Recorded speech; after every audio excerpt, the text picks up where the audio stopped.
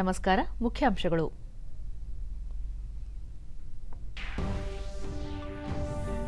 ದೇಶಾದ್ಯಂತ ನಾಳೆಯಿಂದ ನಲವತ್ತೈದು ವರ್ಷ ಮೇಲ್ಪಟ್ಟ ಪ್ರತಿಯೊಬ್ಬರಿಗೂ ಲಸಿಕೆ ನೀಡಿಕೆ, ಆರೋಗ್ಯ ಇಲಾಖೆಯಿಂದ ಅಗತ್ಯ ಸಿದ್ಧತೆ.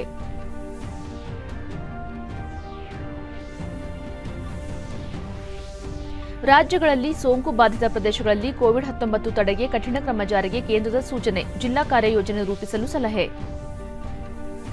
ರಾಜ್ಯದಲ್ಲಿ ಗುಣಮಟ್ಟದ ಆರೋಗ್ಯ ಸೇವೆ ಒದಗಿಸಲು ಸರ್ಕಾರ ಬದ್ಧ. ಪ್ರತಿ ಬುಧವಾರ ಇನ್ಸ್ಪೆಕ್ಷನ್ ಡೇ ಆಚರಣೆ ಡಾಕ್ಟರ್ ಕೆ ಸುಧಾಕರ್.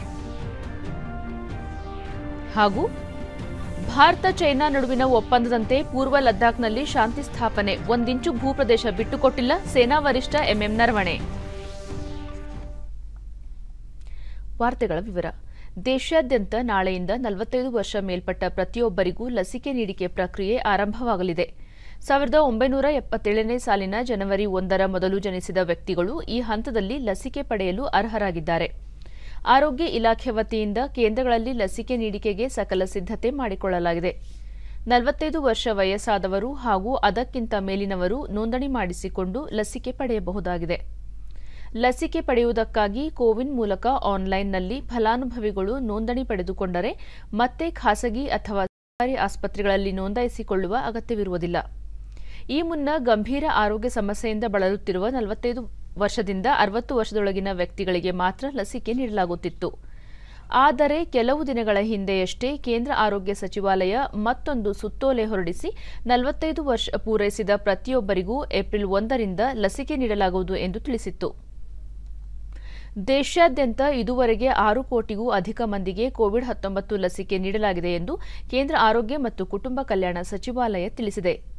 ಈವರೆಗೆ ಒಟ್ಟು ಆರು ಕೋಟಿ ಹನ್ನೊಂದು ಲಕ್ಷ ಹದಿಮೂರು ಸಾವಿರದ ಮುನ್ನೂರ ಐವತ್ನಾಲ್ಕು ಮಂದಿಗೆ ಲಸಿಕೆ ನೀಡಲಾಗಿದೆ.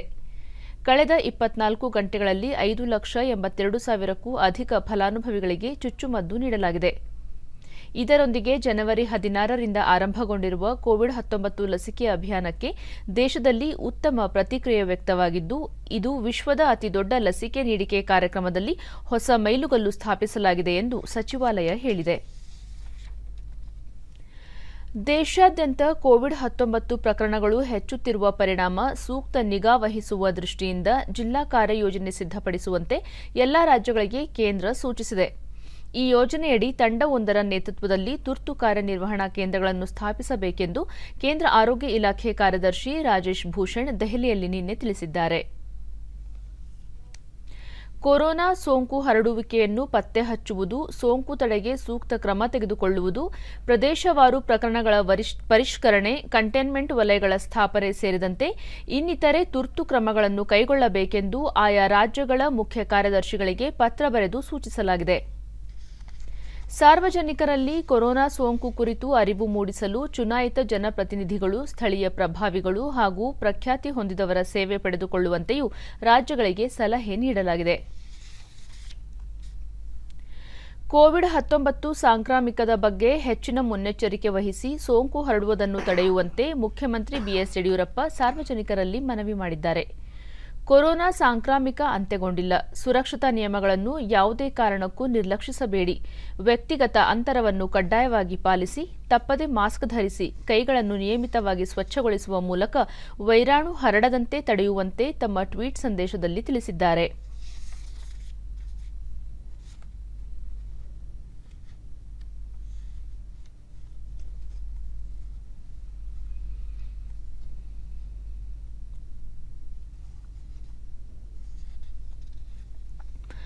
ದೇಶದಲ್ಲಿ ಕಳೆದ ಇಪ್ಪತ್ನಾಲ್ಕು ಗಂಟೆಗಳಲ್ಲಿ ಐವತ್ಮೂರು ಸಾವಿರದ ನಾನೂರ ಎಂಬತ್ತು ಹೊಸ ಕೋವಿಡ್ ಹತ್ತೊಂಬತ್ತು ಪ್ರಕರಣಗಳು ಬೆಳಕಿಗೆ ಬಂದಿವೆ. ಇದರೊಂದಿಗೆ ನಲವತ್ತೊಂದು ಸಾವಿರದ ಇನ್ನೂರ ಎಂಬತ್ತು ಮಂದಿ ಗುಣಮುಖರಾಗಿದ್ದು ಮುನ್ನೂರ ಐವತ್ನಾಲ್ಕು ಮಂದಿ ಮೃತಪಟ್ಟಿದ್ದಾರೆ.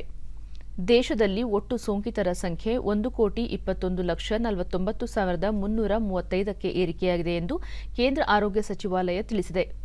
ಇದುವರೆಗೆ ಒಂದು ಕೋಟಿ ಹದಿನಾಲ್ಕು ಲಕ್ಷ ಮೂವತ್ನಾಲ್ಕು ಸಾವಿರದ ಮುನ್ನೂರ ಒಂದು ಮಂದಿ ಗುಣಮುಖರಾಗುವುದರೊಂದಿಗೆ ಚೇತರಿಕೆ ಪ್ರಮಾಣ ಶೇಕಡ ತೊಂಬತ್ನಾಲ್ಕು ಪಾಯಿಂಟ್ ಒಂದು ಒಂದಕ್ಕೆ ಏರಿಕೆಯಾಗಿದೆ. ಒಟ್ಟು ಐದು ಲಕ್ಷ ಐವತ್ತೆರಡು ಸಾವಿರದ ಐನೂರ ಅರವತ್ತಾರು ಸಕ್ರಿಯ ಪ್ರಕರಣಗಳಿದ್ದು ಶೇಕಡ ನಾಲ್ಕು ಪಾಯಿಂಟ್ ಐದು ಐದರಷ್ಟಿದೆ. ಇದುವರೆಗೆ ಒಂದು ಲಕ್ಷ ಅರವತ್ತೆರಡು ಸಾವಿರದ ನಾನೂರ ಅರವತ್ತೆಂಟು ಮಂದಿ ಮೃತಪಟ್ಟಿದ್ದು ಈ ಪ್ರಮಾಣ ಶೇಕಡ ಒಂದು ಪಾಯಿಂಟ್ ಮೂರು ನಾಲ್ಕರಷ್ಟಿದೆ. ದೇಶದಲ್ಲಿ ಕೊರೋನಾ ಸೋಂಕಿತರ ಪರೀಕ್ಷಾ ಸಾಮರ್ಥ್ಯದಲ್ಲಿ ತೀವ್ರಗತಿಯಲ್ಲಿ ಏರಿಕೆಯಾಗುತ್ತಿದೆ. ಇದುವರೆಗೆ ಇಪ್ಪತ್ನಾಲ್ಕು ಕೋಟಿ ಮೂವತ್ತಾರು ಲಕ್ಷ ಎಪ್ಪತ್ತೆರಡು ಸಾವಿರದ ಒಂಬೈನೂರ ನಲವತ್ತು ಮಂದಿಗೆ ಪರೀಕ್ಷೆ ನಡೆಸಲಾಗಿದೆ ಎಂದು ಭಾರತೀಯ ವೈದ್ಯಕೀಯ ಸಂಶೋಧನಾ ಸಂಸ್ಥೆ ಐಸಿಎಂಆರ್ ತಿಳಿಸಿದೆ. ಸರ್ಕಾರಿ ಮತ್ತು ಖಾಸಗಿ ಪ್ರಯೋಗಾಲಯಗಳು ಸೇರಿದಂತೆ ನಿನ್ನೆ ಒಂದೇ ದಿನ ಹತ್ತು ಲಕ್ಷ ಇಪ್ಪತ್ತೆರಡು ಸಾವಿರದ ಒಂಬೈನೂರ ಹದಿನೈದು ಮಾದರಿಗಳ ಪರೀಕ್ಷೆ ನಡೆಸಲಾಗಿದೆ ಎಂದು ಐಸಿಎಂಆರ್ ಹೇಳಿದೆ.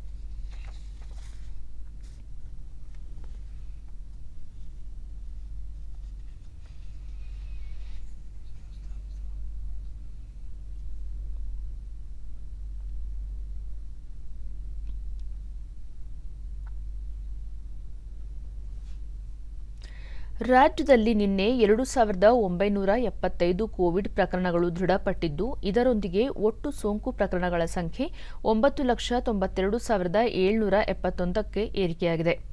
ನಿನ್ನೆ ಒಂದು ಸಾವಿರದ ಇನ್ನೂರ ಅರವತ್ತೆರಡು ಮಂದಿ ಆಸ್ಪತ್ರೆಯಿಂದ ಬಿಡುಗಡೆಯಾಗಿದ್ದು, ಇದುವರೆಗೂ ಗುಣಮುಖರಾದವರ ಒಟ್ಟು ಸಂಖ್ಯೆ ಒಂಬತ್ತು ಲಕ್ಷ ಐವತ್ನಾಲ್ಕು ಸಾವಿರದ ಆರುನೂರ ಎಪ್ಪತ್ತೆಂಟಕ್ಕೆ ತಲುಪಿದೆ. ಇಪ್ಪತ್ತೊಂದು ಮಂದಿ ಸಾವನ್ನಪ್ಪಿದ್ದು, ಮೃತಪಟ್ಟವರ ಸಂಖ್ಯೆ ಹನ್ನೆರಡು ಸಾವಿರದ ಐನೂರ ನಲವತ್ತೊಂದಕ್ಕೆ ಏರಿಕೆಯಾಗಿದೆ. ಸದ್ಯ ರಾಜ್ಯದಲ್ಲಿ ಇಪ್ಪತ್ತೈದು ಸಾವಿರದ ಐನೂರ ನಲವತ್ತೊಂದು ಸಕ್ರಿಯ ಪ್ರಕರಣಗಳಿವೆ. ಇನ್ನೂರ ನಲವತ್ತು ಮಂದಿ ರಾಜ್ಯದ ವಿವಿಧ ಆಸ್ಪತ್ರೆಗಳಲ್ಲಿ ತೀವ್ರ ನಿಗಾ ಘಟಕದಲ್ಲಿ ಚಿಕಿತ್ಸೆ ಪಡೆಯುತ್ತಿದ್ದಾರೆ. ನಿನ್ನೆ ಒಂದು ಲಕ್ಷದ ಆರು ಸಾವಿರದ ಒಂಬೈನೂರ ಹದಿನೇಳು ಮಾದರಿಗಳ ಪರೀಕ್ಷೆ ನಡೆಸಿದ್ದು, ಇದುವರೆಗೂ ಎರಡು ಕೋಟಿ ಹದಿಮೂರು ಲಕ್ಷದ ಎರಡು ಸಾವಿರದ ಆರುನೂರ ಐವತ್ತೆಂಟು ಮಂದಿಗೆ ಕೊರೋನಾ ಪರೀಕ್ಷೆ ನಡೆಸಲಾಗಿದೆ ಎಂದು ಆರೋಗ್ಯ ಮತ್ತು ಕುಟುಂಬ ಕಲ್ಯಾಣ ಇಲಾಖೆ ತಿಳಿಸಿದೆ. ಬೆಂಗಳೂರಿನಲ್ಲಿ ನಿನ್ನೆ ಒಂದು ಸಾವಿರದ ಒಂಬೈನೂರ ಎಂಬತ್ನಾಲ್ಕು ಮಂದಿಗೆ ಸೋಂಕು ತಗುಲಿದ್ದು, ಒಟ್ಟು ಸೋಂಕು ಪ್ರಕರಣಗಳ ಸಂಖ್ಯೆ ನಾಲ್ಕು ಲಕ್ಷ ಮೂವತ್ತೊಂದು ಸಾವಿರದ ಎಂಟುನೂರ ತೊಂಬತ್ತೊಂಬತ್ತಕ್ಕೆ ಏರಿಕೆಯಾಗಿದೆ. ಇಂದು ಆರುನೂರ ಐವತ್ತು ಮಂದಿ ಆಸ್ಪತ್ರೆಯಿಂದ ಬಿಡುಗಡೆಯಾಗಿದ್ದು, ಇದುವರೆಗೂ ಗುಣಮುಖರಾದವರ ಸಂಖ್ಯೆ ನಾಲ್ಕು ಲಕ್ಷ ಒಂಬತ್ತು ಸಾವಿರದ ಏಳ್ನೂರ ಹದಿನೈದಕ್ಕೆ ಏರಿಕೆಯಾಗಿದೆ. ಸದ್ಯ ಹದಿನೇಳು ಸಾವಿರದ ಐನೂರ ಎಂಬತ್ತೆರಡು ಸಕ್ರಿಯ ಪ್ರಕರಣಗಳಿವೆ. ಬೆಂಗಳೂರಿನಲ್ಲಿ ಹನ್ನೊಂದು ಮಂದಿ ಮೃತಪಟ್ಟಿದ್ದು, ಇದುವರೆಗೂ ಒಟ್ಟು ನಾಲ್ಕು ಸಾವಿರದ ಆರುನೂರ ಒಂದು ಮಂದಿ ಸಾವನ್ನಪ್ಪಿದ್ದಾರೆ. ಹಾವೇರಿಯಲ್ಲಿ ಸೋಂಕಿನ ಪ್ರಕರಣ ಪತ್ತೆಯಾಗಿಲ್ಲ. ಉಳಿದಂತೆ ರಾಜ್ಯದ ವಿವಿಧ ಜಿಲ್ಲೆಗಳಲ್ಲಿ ದಾಖಲಾಗಿರುವ ಸೋಂಕು ಪ್ರಕರಣಗಳ ಸಂಖ್ಯೆ ಈ ರೀತಿ ಇದೆ.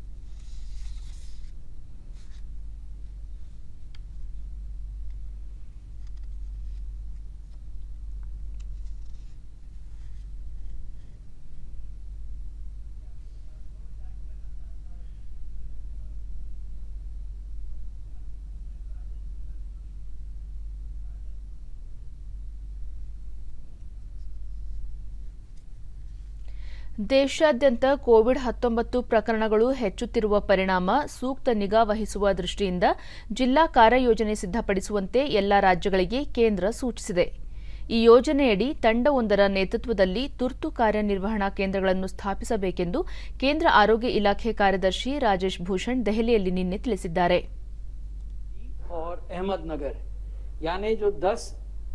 ज़िले हैं जहाँ की अधिकांश एक्टिव केस केंद्रित हैं। उनमें आठ ज़िले महाराष्ट्र के हैं। एक दिल्ली है। हम दिल्ली को एक एडमिनिस्ट्रेटिव यूनिट मानते हैं। हालाँकि यहाँ technically speaking there are multiple districts but we are taking Delhi as one district and Bengaluru urban एक जिला कर्नाटक का, एक दिल्ली और आठ ज़िले महाराष्ट्र के। अब अगर ग्राफ देखें कि कैसे जो डेली केसेस हुए हैं, उनकी स्थिति क्या रही है? तो आप देखेंगे कि जुलाई, पिछले साल के जुलाई से ये केसेस बढ़ने शुरू हुए थे और सितंबर के मध्य में, पिछले साल के सितंबर के मध्य में इनका मैक्सिमम पॉइंट आया था और उसके बाद देश में कोविड के केसेस जो हैं, उनमें घटना शुरू हुआ उनका और रैपिड और कॉन्टिन्यूअस डिक्लाइन हुआ। और ये डिक्लाइन फरवरी के मध्य तक चला मिडिल ಫೆಬ್ರವರಿ ಕೊರೋನಾ ಸೋಂಕು ಹರಡುವಿಕೆಯನ್ನು ಪತ್ತೆ ಹಚ್ಚುವುದು ಸೋಂಕು ತಡೆಗೆ ಸೂಕ್ತ ಕ್ರಮ ತೆಗೆದುಕೊಳ್ಳುವುದು ಪ್ರದೇಶವಾರು ಪ್ರಕರಣಗಳ ಪರಿಷ್ಕರಣೆ ಕಂಟೈನ್ಮೆಂಟ್ ವಲಯಗಳ ಸ್ಥಾಪನೆ ಸೇರಿದಂತೆ ಇನ್ನಿತರೆ ತುರ್ತು ಕ್ರಮಗಳನ್ನು ಕೈಗೊಳ್ಳಬೇಕೆಂದು ಆಯಾ ರಾಜ್ಯಗಳ ಮುಖ್ಯ ಕಾರ್ಯದರ್ಶಿಗಳಿಗೆ ಪತ್ರ ಬರೆದು ಸೂಚಿಸಲಾಗಿದೆ यहाँ प्रतिदिन फरवरी के दूसरे सप्ताह में लगभग 400 केस आते थे 399 अब ये बढ़कर दो हज़ार पाँच सौ चौरानवे हो गए हैं। एवरेज डेली फरवरी के दूसरे सप्ताह में लगभग चार मृत्यु प्रतिदिन होती थीं। ये बढ़कर अब 11 हो गई हैं। टीकाकरण की रफ्तार लगातार ಸಾರ್ವಜನಿಕರಲ್ಲಿ ಕೊರೋನಾ ಸೋಂಕು ಕುರಿತು ಅರಿವು ಮೂಡಿಸಲು ಚುನಾಯಿತ ಜನಪ್ರತಿನಿಧಿಗಳು, ಸ್ಥಳೀಯ ಪ್ರಭಾವಿಗಳು ಹಾಗೂ ಪ್ರಖ್ಯಾತಿ ಹೊಂದಿದವರ ಸೇವೆ ಪಡೆದುಕೊಳ್ಳುವಂತೆಯೂ ರಾಜ್ಯಗಳಿಗೆ ಸಲಹೆ ನೀಡಲಾಗಿದೆ. ರಾಜ್ಯದಲ್ಲಿ ಬೆಳಗಾವಿ ಲೋಕಸಭಾ ಕ್ಷೇತ್ರ ಹಾಗೂ ಮಸ್ಕಿ ಮತ್ತು ಬಸವಕಲ್ಯಾಣ ವಿಧಾನಸಭಾ ಕ್ಷೇತ್ರಗಳ ಉಪಚುನಾವಣೆಗೆ ಸಲ್ಲಿಕೆಯಾಗಿರುವ ನಾಮಪತ್ರಗಳ ಪರಿಶೀಲನೆ ಕಾರ್ಯ ಇಂದು ನಡೆಯಲಿದೆ. ಬೆಳಗಾವಿ ಲೋಕಸಭಾ ಕ್ಷೇತ್ರದ ಉಪಚುನಾವಣೆಗೆ ಇಬ್ಬರು ಮಹಿಳೆಯರು ಸೇರಿದಂತೆ ಒಟ್ಟು ಇಪ್ಪತ್ಮೂರು ನಾಮಪತ್ರಗಳು ಸಲ್ಲಿಕೆಯಾಗಿವೆ.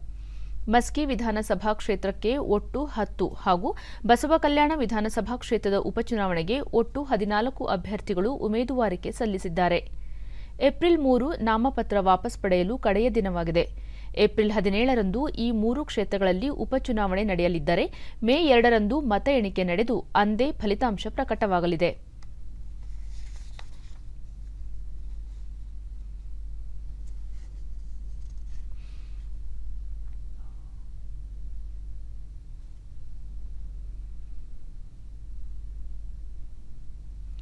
ರಾಜ್ಯದ ಪ್ರಾಥಮಿಕ ಆರೋಗ್ಯ ಕೇಂದ್ರಗಳು ಸಹಿತ ಸರ್ಕಾರಿ ಆಸ್ಪತ್ರೆಗಳಲ್ಲಿನ ವೈದ್ಯರ ಕೊರತೆಯನ್ನು ಶೀಘ್ರದಲ್ಲಿ ನೀಗಿಸಲಾಗುವುದು. ಪ್ರಸ್ತುತ ಎರಡು ಸಾವಿರಕ್ಕೂ ಅಧಿಕ ವೈದ್ಯರ ನೇಮಕಾತಿ ನಡೆಯುತ್ತಿದೆ ಎಂದು ಆರೋಗ್ಯ ಹಾಗೂ ವೈದ್ಯಕೀಯ ಶಿಕ್ಷಣ ಸಚಿವ ಡಾ ಕೆ ಸುಧಾಕರ್ ಉಡುಪಿಯಲ್ಲಿ ನಿನ್ನೆ ತಿಳಿಸಿದ್ದಾರೆ. ಆರೋಗ್ಯ ಕ್ಷೇತ್ರದ ಬಲವರ್ಧನೆಗೆ ಸರ್ಕಾರ ಅನೇಕ ಕಾರ್ಯಕ್ರಮಗಳನ್ನು ರೂಪಿಸಿದೆ. ಮುಖ್ಯವಾಗಿ ವೈದ್ಯರ ಕೊರತೆ ನೀಗಿಸಲು ಮುಂದಾಗಿದ್ದು, ಲ್ಯಾಬ್ ಟೆಕ್ನಿಷಿಯನ್ ಸಹಿತ ಎಂಟುನೂರರಿಂದ ಒಂದು ಸಾವಿರ ಹುದ್ದೆಗಳಿಗೆ ನೇರ ನೇಮಕಾತಿ ಮಾಡಿಕೊಳ್ಳಲಾಗುತ್ತಿದ್ದು, ಸಂಪುಟದಲ್ಲಿ ಇದಕ್ಕೆ ಅನುಮೋದನೆ ಸಿಕ್ಕಿದೆ ಎಂದು ಹೇಳಿದರು. ರಾಜ್ಯದ ನಾಲ್ಕು ಕಡೆಗಳಲ್ಲಿ ಈಗಾಗಲೇ ವೈದ್ಯಕೀಯ ಕಾಲೇಜುಗಳ ನಿರ್ಮಾಣ ಆರಂಭವಾಗಿದ್ದು, ದೇಶಾದ್ಯಂತ ಒಟ್ಟು ನೂರ ಐವತ್ತೇಳು ವೈದ್ಯಕೀಯ ಕಾಲೇಜುಗಳು ನಿರ್ಮಾಣವಾಗುತ್ತಿವೆ. ಇವು ಪೂರ್ಣಗೊಂಡರೆ ಸುಮಾರು ಇಪ್ಪತ್ತೇಳು ಸಾವಿರ ವಿದ್ಯಾರ್ಥಿಗಳ ವ್ಯಾಸಂಗಕ್ಕೆ ಅವಕಾಶ ಸಿಗಲಿದೆ ಎಂದು ಹೇಳಿದರು. ಆರೋಗ್ಯ ಇಲಾಖೆಯಲ್ಲಿ ಕೆಲವೊಂದು ಬದಲಾವಣೆ ತರುವ ಅಗತ್ಯವಿದ್ದು, ವಿಜಯನಗರ ಸಾಮ್ರಾಜ್ಯದಲ್ಲಿ ಸೃಷ್ಟಿಯಾಗಿದ್ದ ವೈಭವದಂತೆ ಆರೋಗ್ಯ ಕ್ಷೇತ್ರದಲ್ಲೂ ಆ ವೈಭವವನ್ನು ತರಬೇಕಾಗಿದೆ. ಈ ನಿಟ್ಟಿನಲ್ಲಿ ಆಸ್ಪತ್ರೆಗಳಲ್ಲಿ ಮೂಲಸೌಕರ್ಯ ಹೆಚ್ಚಿಸಲಾಗುತ್ತಿದೆ ಎಂದು ತಿಳಿಸಿದ ಸಚಿವರು, ಆರೋಗ್ಯ ಇಲಾಖೆಯಲ್ಲಿ ಇನ್ನು ಮುಂದೆ ಪ್ರತಿ ಬುಧವಾರ ಇನ್ಸ್ಪೆಕ್ಷನ್ ಡೇ ಆಚರಿಸಲಾಗುವುದು ಎಂದು ಹೇಳಿದರು. ಪ್ಯಾರಾಮೆಡಿಕಲ್ ಸ್ಟಾಫು ಇವ್ರಿಗೂ ಕೂಡ ಸುಮಾರು ಎಂಟುನೂರಿಂದ ಸಾವಿರ ಜನರಿಗೆ ಇದನ್ನು ಕೂಡ ನೇರ ನೇಮಕಾತಿ ಮಾಡಿಕೊಳ್ಳಿಕ್ಕೆ ಕ್ಯಾಬಿನೆಟ್ ಅವಕಾಶ ಮಾಡಿಕೊಟ್ಟಿದೆ. ಅದನ್ನು ಕೂಡ ತುಂಬಿಸುವಂಥ ಕೆಲಸ ಮಾಡ್ತಾ ಇದ್ದೀವಿ.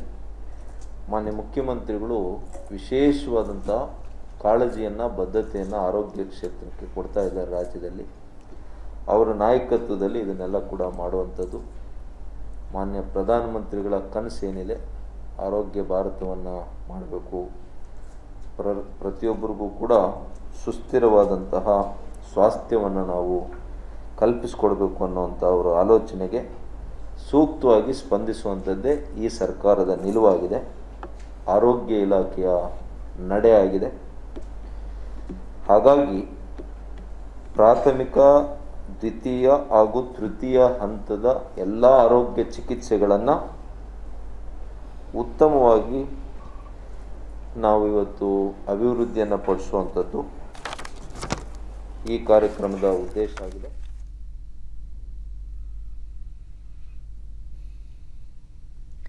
ಮುಂದಿನ ಮೂರು ವರ್ಷಗಳಲ್ಲಿ ಅರವತ್ತೊಂಬತ್ತು ಬಿಲಿಯನ್ ಡಾಲರ್ ಸಾಲ ನೀಡುವ ಗುರಿಯೊಂದಿಗೆ ಆರಂಭಿಕ ಮೂರು ಬಿಲಿಯನ್ ಡಾಲರ್ಗಳ ಪಾವತಿ ಬಂಡವಾಳದೊಂದಿಗೆ ಹೊಸ ಅಭಿವೃದ್ಧಿ ಹಣಕಾಸು ಸಂಸ್ಥೆಯನ್ನು ಭಾರತ ಸ್ಥಾಪಿಸಲಿದೆ ಎಂದು ಹಣಕಾಸು ಸಚಿವೆ ನಿರ್ಮಲಾ ಸೀತಾರಾಮನ್ ತಿಳಿಸಿದ್ದಾರೆ. ಎನ್ಡಿಬಿಯ ಆಡಳಿತ ಮಂಡಳಿಯ ಆರನೇ ವಾರ್ಷಿಕ ಸಭೆ ಉದ್ದೇಶಿಸಿ ನಿನ್ನೆ ವಿಡಿಯೋ ಕಾನ್ಫರೆನ್ಸ್ ಮೂಲಕ ಮಾತನಾಡಿದ ಅವರು, ಸಾಂಕ್ರಾಮಿಕ ರೋಗದ ಪ್ರಭಾವವನ್ನು ಮಿತಿಗೊಳಿಸಲು ವಿ ಆಕಾರ ಚೇತರಿಕೆಗೆ ಕಾರಣವಾಗುವ ಬೃಹತ್ ಲಸಿಕೆ ಅಭಿಯಾನ ಕೈಗೊಳ್ಳಲು ಭಾರತ ತ್ವರಿತ ಪ್ರಕ್ರಿಯೆ ಕೈಗೊಂಡಿರುವುದನ್ನು ಒತ್ತಿ ಹೇಳಿದರು. ಭಾರತದಿಂದ ವಿಶ್ವದ ಅತಿದೊಡ್ಡ ಲಸಿಕೆ ಅಭಿಯಾನಕ್ಕೆ ಚಾಲನೆ ದೊರೆತಿದೆ. ಇಲ್ಲಿಯವರೆಗೆ ಸುಮಾರು ಎಂಬತ್ತು ದೇಶಗಳಿಗೆ ಸ್ವದೇಶಿ ನಿರ್ಮಿತ ಅರವತ್ಮೂರು ಪಾಯಿಂಟ್ ಒಂಬತ್ತು ಮಿಲಿಯನ್ ಕೋವಿಡ್ ಲಸಿಕೆಯನ್ನು ರಫ್ತು ಮಾಡಲಾಗಿದೆ ಎಂದು ತಿಳಿಸಿದ ನಿರ್ಮಲಾ ಸೀತಾರಾಮನ್, ಖಾಸಗಿ ವಲಯದ ಭಾಗವಹಿಸುವಿಕೆಗೆ ಅನುಕೂಲವಾಗುವಂತೆ ಹೊಸ ಅಭಿವೃದ್ಧಿ ಬ್ಯಾಂಕ್ ಅನ್ನು ಪ್ರೋತ್ಸಾಹಿಸಲಾಗುತ್ತದೆ ಎಂದು ಹೇಳಿದರು. ಲದ್ದಾಖ್ನಲ್ಲಿ ಭಾರತ ತನ್ನ ಒಂದಿಂಚು ಭೂಮಿಯನ್ನು ಕಳೆದುಕೊಂಡಿಲ್ಲ ಎಂದು ಸೇನಾ ವರಿಷ್ಠ ಎಂಎಂ ನರವಣೆ ತಿಳಿಸಿದ್ದಾರೆ. ಪೂರ್ವ ಲದ್ದಾಖ್ನಲ್ಲಿ ಚೈನಾ ವಿರುದ್ಧ ತಿಂಗಳುಗಳ ಸಂಘರ್ಷದ ಹೊರತಾಗಿಯೂ ಭಾರತ ಭೂಪ್ರದೇಶದ ಯಾವುದೇ ಒಂದಿಂಚು ಭಾಗವನ್ನು ಬಿಟ್ಟುಕೊಟ್ಟಿಲ್ಲ. ಕಳೆದ ತಿಂಗಳಿಂದ ಸೇನೆಗಳ ಹಿಂತೆಗೆತ ಪ್ರಕ್ರಿಯೆಯಿಂದಾಗಿ ಆ ಪ್ರದೇಶದಲ್ಲಿ ಶಾಂತಿ ನೆಲೆಸಿದೆ ಎಂದು ಅವರು ಹೇಳಿದ್ದಾರೆ.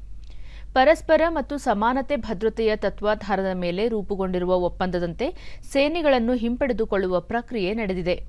ಉಭಯ ದೇಶಗಳ ಪರಸ್ಪರ ಹಿತಾಸಕ್ತಿ ಹಾಗೂ ಗಡಿ ನಿಯಂತ್ರಣ ರೇಖೆಯಲ್ಲಿ ಶಾಂತಿ ಸ್ಥಾಪನೆ ಸಂಬಂಧ ಈ ಒಪ್ಪಂದ ಏರ್ಪಟ್ಟಿದೆ. ಭವಿಷ್ಯದಲ್ಲೂ ಭಾರತ ಮತ್ತು ಚೈನಾ ನಡುವೆ ಮಾತುಕತೆಗಳು ಮುಂದುವರಿಯಲಿವೆ ಎಂದು ಎಂಎಂ ನರವಣೆ ಹೇಳಿದ್ದಾರೆ. So, future rounds of talks will continue, and I'm sure that through these talks we will be able to narrow down our differences and arrive at a acceptable solution once again based on mutual and equal security. Chikkamagaluru ಜಿಲ್ಲೆಯ ಇನಾಮ್ ದತ್ತಾತ್ರೇಯ ಬಾಬಾ ಬುಡನ್ಗಿರಿಯಲ್ಲಿ ಮುಸ್ಲಿಂ ಸಮುದಾಯದವರಿಂದ ಸಂದಲ್ ಉರುಸ್ ಅಂದರೆ ಜಾತ್ರೆಯನ್ನು ಸಂಭ್ರಮದಿಂದ ಆಚರಿಸಲಾಗುತ್ತಿದೆ ಇದು ಹಿಂದೂ ಮುಸಲ್ಮಾನರ ಭಾವೈಕ್ಯತೆಯ ಸ್ಥಳವಾಗಿದ್ದು, ಕೇವಲ ಮುಸಲ್ಮಾನ ಸಮುದಾಯದವರು ಅಷ್ಟೇ ಅಲ್ಲದೆ ಅನ್ಯ ಧರ್ಮದವರು ಕೂಡ ಹೆಚ್ಚಿನ ಸಂಖ್ಯೆಯಲ್ಲಿ ಆಗಮಿಸಿ ಉರುಸ್ ಹಬ್ಬದಲ್ಲಿ ಸಂಭ್ರಮದಿಂದ ಪಾಲ್ಗೊಳ್ಳುತ್ತಾರೆ. ಈ ಬಾರಿ ಕೋವಿಡ್ ಹತ್ತೊಂಬತ್ತು ಹಿನ್ನೆಲೆಯಲ್ಲಿ ಉರುಸ್ ಆಚರಣೆಗೆ ಬರುವ ಭಕ್ತರುಗಳಿಗೆ ಜಿಲ್ಲಾಡಳಿತದಿಂದ ಸೋಂಕಿನ ಕ್ಷಿಪ್ರ ಪರೀಕ್ಷೆ ನಡೆಸಲಾಗುತ್ತಿದೆ. ಅಲ್ಲದೆ ಅಗತ್ಯ ಮೂಲಸೌಕರ್ಯಗಳನ್ನು ಕಲ್ಪಿಸಲಾಗಿದೆ. ಮಾರ್ಚ್ ಇಪ್ಪತ್ತೊಂಬತ್ತರಿಂದ ಆರಂಭವಾಗಿರುವ ಮೂರು ದಿನಗಳ ಈ ಉತ್ಸವಕ್ಕೆ ಇಂದು ತೆರೆ ಬೀಳಲಿದೆ.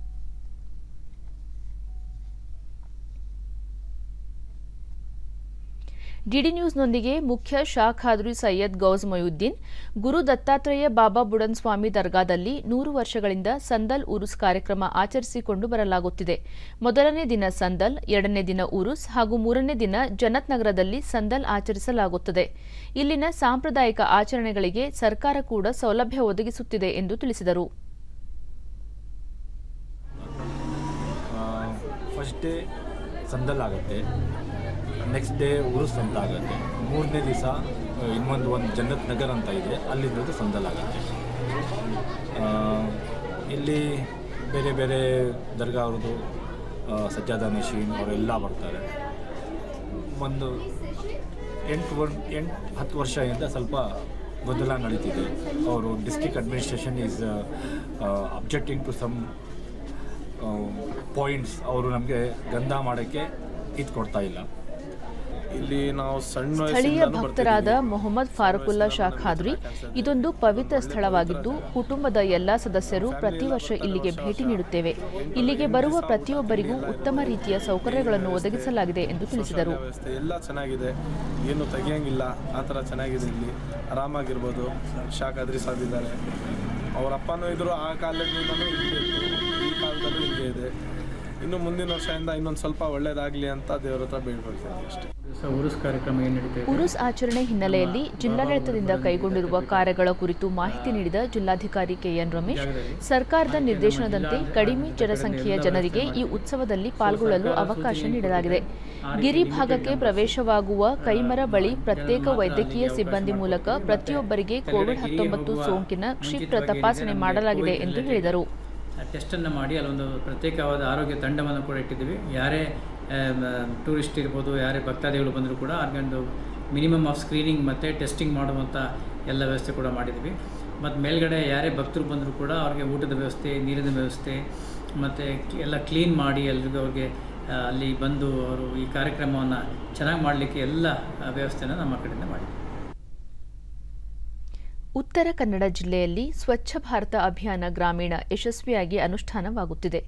ಭಟ್ಕಳ ತಾಲೂಕು ಪಂಚಾಯಿತಿಯಲ್ಲಿನ ಒಟ್ಟು ಹದಿನಾರು ಗ್ರಾಮ ಪಂಚಾಯಿತಿಗಳಿದ್ದು, ಈ ಪೈಕಿ ಈಗಾಗಲೇ ಬೇಂಗ್ರೆ ಮತ್ತು ಶಿರಾಳಿ ಈ ಎರಡು ಸ್ಥಳಗಳಲ್ಲಿ ಘನ ತ್ಯಾಜ್ಯ ವಿಲೇವಾರಿ ಘಟಕ ನಿರ್ಮಿಸಲಾಗಿದೆ. ಪಂಚಾಯತ್ ಸಿಬ್ಬಂದಿಯು ಸುತ್ತಮುತ್ತಲಿನ ಪ್ರದೇಶದ ಜನರಿಗೆ ಹಸಿ ಮತ್ತು ಒಣಕಸ ಬೇರ್ಪಡಿಸಿ ನೀಡುವ ಬಗ್ಗೆ ಜಾಗೃತಿ ಮೂಡಿಸಿದ್ದಾರೆ. ಅಂತೆಯೇ ಗ್ರಾಮಸ್ಥರು ಕಸವನ್ನು ವಿಂಗಡಿಸಿ ಪಂಚಾಯಿತಿ ವಾಹನಗಳಿಗೆ ನೀಡುತ್ತಿದ್ದಾರೆ. ಇಂತಹ ಕಸವನ್ನು ವಿಲೇವಾರಿ ಘಟಕಕ್ಕೆ ತಂದು ಮರುಬಳಕೆ ಮತ್ತು ವಿಲೇವಾರಿ ಮಾಡಬೇಕಾದ ವಸ್ತುಗಳನ್ನು ಸ್ವಚ್ಛತಾ ಕಾರ್ಯಕರ್ತರು ವಿಂಗಡಿಸುತ್ತಾರೆ.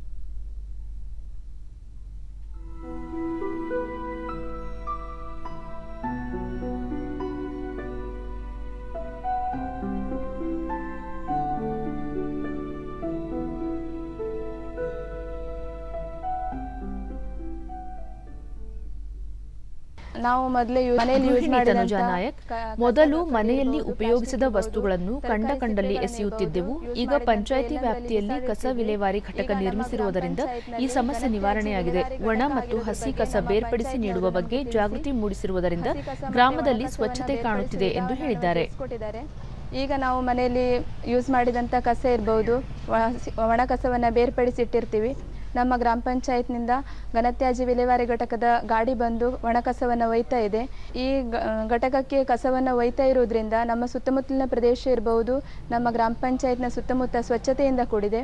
ಸದ್ರಿ ಘಟಕಕ್ಕೆ ಬೇಂದ್ರೆ ಗ್ರಾಮ ಪಂಚಾಯಿತಿ ಕಾರ್ಯದರ್ಶಿ ಮಂಜುಗೌಡ ಸುತ್ತಮುತ್ತಲಿನ ಜನರಿಗೆ ಕಸ ವಿಲೇವಾರಿ ಬಗ್ಗೆ ಜಾಗೃತಿ ಮೂಡಿಸಿರುವುದರಿಂದ ಪ್ಲಾಸ್ಟಿಕ್ ನಿಷೇಧದ ಬಗ್ಗೆಯೂ ಜನರಿಗೆ ಅರಿವು ಉಂಟಾಗಿದೆ ಎಂದು ತಿಳಿಸಿದರು.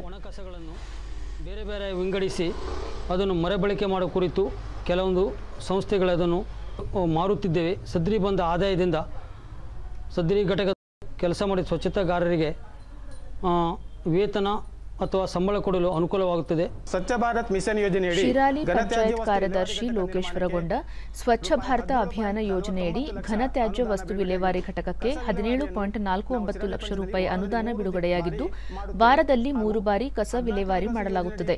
ಹದಿನಾಲ್ಕನೇ ಹಣಕಾಸು ಯೋಜನೆಯಡಿ ಹನ್ನೆರಡು ಲಕ್ಷ ರೂಪಾಯಿ ಅನುದಾನದಲ್ಲಿ ಇತರೆ ಘಟಕವನ್ನು ನಿರ್ಮಾಣ ಮಾಡಲಾಗಿದೆ ಎಂದರು. ಗ್ರಾಮ ಪಂಚಾಯತ್ ವಾಹನದಲ್ಲಿ ಗ್ರಾಮ ಪಂಚಾಯತ್ ಎರಡು ಸ್ವೀಪರ್ಗಳು ಸಮರ್ಪಕವಾಗಿ ವಿಲೇವಾರಿ ಮಾಡುತ್ತಿದ್ದಾರೆ.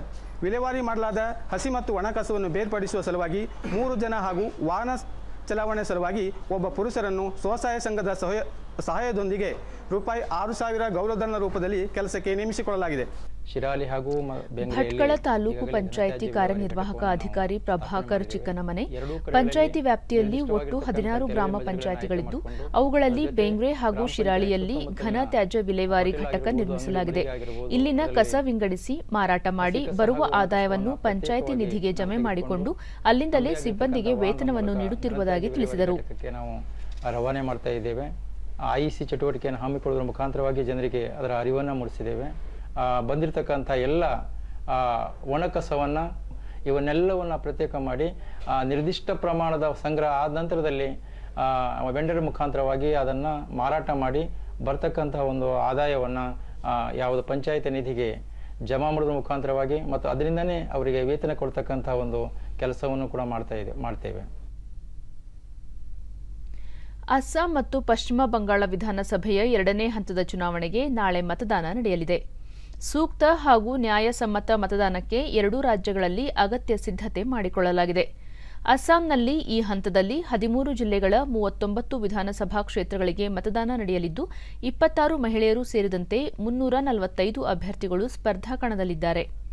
ಬಿಜೆಪಿ ನೇತೃತ್ವದ ಎನ್ಡಿಎ ಮೈತ್ರಿಕೂಟ ಸೇರಿದಂತೆ ಮೂರು ಪ್ರಮುಖ ಮೈತ್ರಿಕೂಟಗಳು ತಮ್ಮ ಅಭ್ಯರ್ಥಿಗಳನ್ನು ಕಣಕ್ಕಿಳಿಸಿವೆ. ಪಶ್ಚಿಮ ಬಂಗಾಳ ವಿಧಾನಸಭೆಯ ಎರಡನೇ ಹಂತದ ಚುನಾವಣೆ ನಾಲ್ಕು ಜಿಲ್ಲೆಗಳ ವ್ಯಾಪ್ತಿಯ ಮೂವತ್ತು ಕ್ಷೇತ್ರಗಳಿಗೆ ನಡೆಯಲಿದೆ. ಹತ್ತೊಂಬತ್ತು ಮಹಿಳೆಯರು ಸೇರಿದಂತೆ ನೂರ ಎಪ್ಪತ್ತೊಂದು ಅಭ್ಯರ್ಥಿಗಳು ಸ್ಪರ್ಧಿಸಿದ್ದಾರೆ.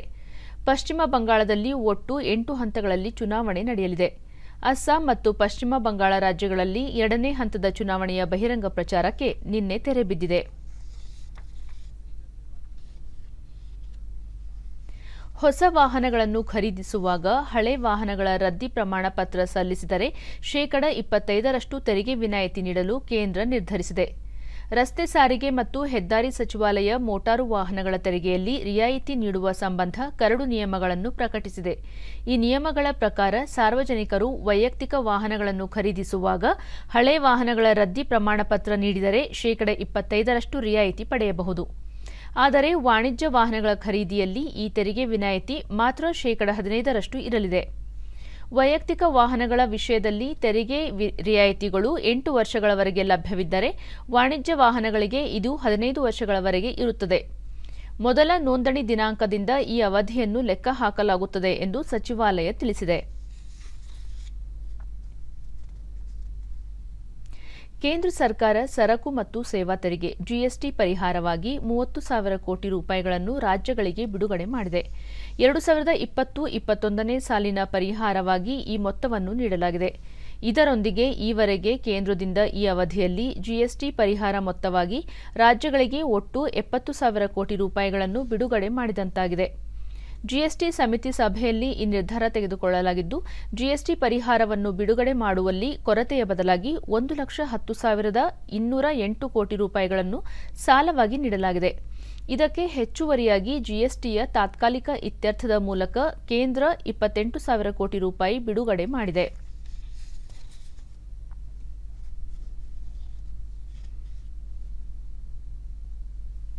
ನೈಋತ್ಯ ವಲಯದಲ್ಲಿ ಬೆಂಗಳೂರಿನ ರೈಲ್ವೆ ನಿಲ್ದಾಣ ಮೊಟ್ಟ ಮೊದಲ ಹವಾನಿಯಂತ್ರಿತ ವ್ಯವಸ್ಥೆ ಹೊಂದುವ ಮೂಲಕ ಹೆಗ್ಗಳಿಕೆಗೆ ಪಾತ್ರವಾಗುತ್ತಿದೆ ಎಂದು ನೈಋತ್ಯ ವಲಯದ ಮಹಾಪ್ರಬಂಧಕರಾದ ಅನೀಶಾ ಹೆಗಡೆ ತಿಳಿಸಿದ್ದಾರೆ. ಸುದ್ದಿಗೋಷ್ಠಿಯಲ್ಲಿ ಅವರು, ಕಳೆದ ಎರಡು ವರ್ಷಗಳಲ್ಲಿ ನೈಋತ್ಯ ರೈಲ್ವೆ ವಲಯದಲ್ಲಾಗಿರುವ ಅಭಿವೃದ್ಧಿ ಕುರಿತು ಮಾಹಿತಿ ನೀಡಿದರು. ರೈಲ್ವೆ ಅಪಘಾತಗಳ ಸಂಖ್ಯೆ ಗಣನೀಯವಾಗಿ ಕಡಿಮೆಯಾಗಿದೆ. ಮುನ್ನೂರ ಅರವತ್ಮೂರು ಕಿಲೋಮೀಟರ್ವರೆಗೂ ಜೋಡಿ ರೈಲು ಮಾರ್ಗ ನಿರ್ಮಿಸಲಾಗಿದೆ. ಹುಬ್ಬಳ್ಳಿಯಲ್ಲಿ ಪ್ಲಾಟ್ಫಾರಂಗಳ ಸಂಖ್ಯೆಯನ್ನು ಎಂಟಕ್ಕೆ ಹೆಚ್ಚಿಸಲಾಗಿದೆ. ಬೆಂಗಳೂರಿನ ಯಶವಂತಪುರ ಸೇರಿದಂತೆ ಹಲವು ರೈಲ್ವೆ ನಿಲ್ದಾಣಗಳಲ್ಲಿ ನೂತನ ಕಟ್ಟಡಗಳನ್ನು ನಿರ್ಮಿಸಲಾಗಿದೆ ಎಂದರು. ಹೊಸ ರೈಲುಗಳ ಸಂಚಾರ ಹೆಚ್ಚಿರುವುದರಿಂದ ಪ್ರಯಾಣಿಕರಿಗೆ ಅನುಕೂಲವಾಗಿದೆ. ಸರಕು ಸಾಗಾಣಿಕೆಗೂ ಅವಕಾಶ ಕಲ್ಪಿಸಲಾಗಿದ್ದು, ಆಹಾರ ಸಾಮಗ್ರಿಗಳು ಹಾಗೂ ರಸಗೊಬ್ಬರ ಸಾಗಾಣಿಕೆ ಮಾಡಲಾಗಿದೆ ಎಂದರು. ಪ್ಯಾಸೆಂಜರ್ ಮಾಡೋದು ಹೊಸ ಸ್ಟೇಷನ್ ಬಿಲ್ಡಿಂಗ್ಗಳು ಎಲ್ಲ ಕಡೆನೂ ಬೆಳಗಾವಿ, ಧಾರವಾಡ ದಾವಣಗೆರೆ, ಹಂಗೆ ಯಶವಂತಪುರ, ಇದೆಲ್ಲ ಕಡೆನೂ ಕೂಡ ಹೊಸ ಸ್ಟೇಷನ್ ಬಿಲ್ಡಿಂಗ್ ಇದು ಮಾ ಕನ್ಸ್ಟ್ರಕ್ಟ್ ಮಾಡಿಸೋದು. ಇಲ್ಲಿ ಇರೋ ಬಿಲ್ಡಿಂಗನ್ನು ಇಂಪ್ರೂವ್ಮೆಂಟ್ ಮಾಡಿರೋದು ಕೆಲಸಗಳಿಗೆ ಕೂಡ ಅವರು ಡಿಸೈನ್ ಮಾಡಿಬಿಟ್ಟು ಅದನ್ನೆಲ್ಲ ಕಂಪ್ಲೀಟ್ ಮಾಡಿಸಿದ್ದಾರೆ. ಹಾಗೆ ಹುಬ್ಬಳ್ಳಿ ಯಾರ್ಡ್ ಅವರೇ ರಿಮಾಡ್ಲಿಂಗ್ ಮಾಡಿಸ್ಬೇಕಂತೆ ಅದು, ಅವರ ಯೋಚನೆ ಇತ್ತು. ಅದೆಲ್ಲ ಅವ್ರ ಪ್ಲ್ಯಾನ್ ಮಾಡಿಬಿಟ್ಟು ಹುಬ್ಳಿದಲ್ಲಿ ಈಗ ಇರೋ ಫೈವ್ ಪ್ಲ್ಯಾಟ್ಫಾರ್ಮ್ಗಳನ್ನು ಎಂಟು ಮಾಡಿಬಿಟ್ಟು ಹಂಗೆ ಮೂರು ಸೈಡ್ರಿಂದ ಮುಂಚೆ ಸಿಂಗಿಲ್ ಲೈನ್ ಇತ್ತು. ಅದನ್ನು ಈಗ ಡಬ್ಲಿಂಗ್ ಮಾಡಿಸ್ಬಿಟ್ಟು ಅದರಿಂದನೇ ವರ್ಲ್ಡ್ಸ್ ಲಾಂಗೆಸ್ಟ್ ಪ್ಲ್ಯಾಟ್ಫಾರ್ಮ್ ಹುಬ್ಬಳ್ಳಿದಲ್ಲಿ ಈಗ ಫಂಕ್ಷನಲ್ ಇದೆ ಇದು ಗಿನ್ನಿಸ್ ಬುಕ್ ರೆಕಾರ್ಡ್ ಬುಕ್ಕಲ್ಲಿ ಕೂಡ ಎಂಟ್ರಿ ಆಗ್ತಾ ಇದೆ. ನಿವೃತ್ತಿ. ಹೊಂದುತ್ತಿರುವ ಸಿಪಿಆರ್ಒ ಅಜಯ್ ಕುಮಾರ್ ಸಿಂಗ್ ನೈಋತ್ಯ ವಲಯದ ಅಭಿವೃದ್ಧಿಗೆ ಕೇಂದ್ರ ಸರ್ಕಾರ ಅಗತ್ಯ ಹಣಕಾಸು ನೆರವು ನೀಡಿ ಸಹಕರಿಸಿದೆ. ಜಗತ್ತಿನಲ್ಲಿಯೇ ಅತಿ ಉದ್ದದ ರೈಲ್ವೆ ಪ್ಲಾಟ್ಫಾರಂ ಅನ್ನು ಮುನ್ನೂರ ಹದಿನಾಲ್ಕು ಕೋಟಿ ರೂಪಾಯಿ ವೆಚ್ಚದಲ್ಲಿ ನಿರ್ಮಿಸಲಾಗಿದೆ. ಸುರಕ್ಷತೆಗಾಗಿ ಹಲವು ಮೇಲ್ಸೇತುವೆಗಳನ್ನು ನಿರ್ಮಿಸಲಾಗಿದೆ ಎಂದು ತಿಳಿಸಿದರು. Single line to double line, it becomes more than twice because you don't waste time in trains halting and crossing each other. And also, electrification is underway, and shortly, within the next two three years, I think most of the railway will be electrified. And also, one very nice yard has come up at Baipanhalli, which is called the Sri Vishwesharaya Terminal. That is the third coaching terminal at Bangalore. Mumbai ಷೇರು ಮಾರುಕಟ್ಟೆಯಲ್ಲಿಂದು ಆರಂಭಿಕ ವಹಿವಾಟಿನಲ್ಲಿ ಷೇರು ಸಂವೇದಿ ಸೂಚ್ಯಂಕ ಸೆನ್ಸೆಕ್ಸ್ ಮುನ್ನೂರ ಎಂಬತ್ಮೂರು ಅಂಕಗಳ ಇಳಿಕೆಯೊಂದಿಗೆ ನಲವತ್ತೊಂಬತ್ತು ಸಾವಿರದ ಏಳ್ನೂರ ಐವತ್ನಾಲ್ಕರಲ್ಲಿ ವಹಿವಾಟು ಆರಂಭಿಸಿದೆ. ರಾಷ್ಟ್ರೀಯ ಸಂವೇದಿ ಸೂಚ್ಯಂಕ ನಿಫ್ಟಿ ಸಹ ನೂರ ಎರಡು ಅಂಕಗಳ ಇಳಿಕೆಯೊಂದಿಗೆ ಹದಿನಾಲ್ಕು ಸಾವಿರದ ಏಳ್ನೂರ ನಲವತ್ಮೂರರಲ್ಲಿತ್ತು. ಅಂತಾರಾಷ್ಟ್ರೀಯ ಮಾರುಕಟ್ಟೆಯಲ್ಲಿ ಡಾಲರ್ ಎದುರು ರೂಪಾಯಿ ಮೌಲ್ಯದಲ್ಲಿ ಇಪ್ಪತ್ತು ಪೈಸೆ ಇಳಿಕೆಯಾಗಿದ್ದು, ಎಪ್ಪತ್ಮೂರು ಪಾಯಿಂಟ್ ಐದು ಎಂಟರಷ್ಟಿದೆ. ಈಗ ಕೊನೆಯಲ್ಲಿ ಮತ್ತೊಮ್ಮೆ ಮುಖ್ಯಾಂಶಗಳು. ದೇಶಾದ್ಯಂತ ನಾಳೆಯಿಂದ ನಲವತ್ತೈದು ವರ್ಷ ಮೇಲ್ಪಟ್ಟ ಪ್ರತಿಯೊಬ್ಬರಿಗೂ ಲಸಿಕೆ ನೀಡಿಕೆ, ಆರೋಗ್ಯ ಇಲಾಖೆಯಿಂದ ಅಗತ್ಯ ಸಿದ್ಧತೆ. ರಾಜ್ಯಗಳಲ್ಲಿ ಸೋಂಕು ಬಾಧಿತ ಪ್ರದೇಶಗಳಲ್ಲಿ ಕೋವಿಡ್ ಹತ್ತೊಂಬತ್ತು ತಡೆಗೆ ಕಠಿಣ ಕ್ರಮ ಜಾರಿಗೆ ಕೇಂದ್ರದ ಸೂಚನೆ. ಜಿಲ್ಲಾ ಕಾರ್ಯಯೋಜನೆ ರೂಪಿಸಲು ಸಲಹೆ.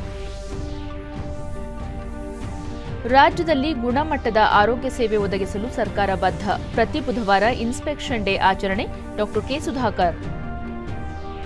ಹಾಗೂ ಭಾರತ ಚೈನಾ ನಡುವಿನ ಒಪ್ಪಂದದಂತೆ ಪೂರ್ವ ಲದ್ದಾಖ್ನಲ್ಲಿ ಶಾಂತಿ ಸ್ಥಾಪನೆ. ಒಂದಿಂಚು ಭೂಪ್ರದೇಶ ಬಿಟ್ಟುಕೊಟ್ಟಿಲ್ಲ, ಸೇನಾ ವರಿಷ್ಠ ಎಂಎಂ ನರವಣೆ. ನಮ್ಮ ವಾರ್ತಾ ಪ್ರಸಾರವನ್ನು ನೀವು ಡಿಡಿ ಚಂದನ ನ್ಯೂಸ್ ಯೂಟ್ಯೂಬ್ ಚಾನೆಲ್ನಲ್ಲೂ ವೀಕ್ಷಿಸಬಹುದು.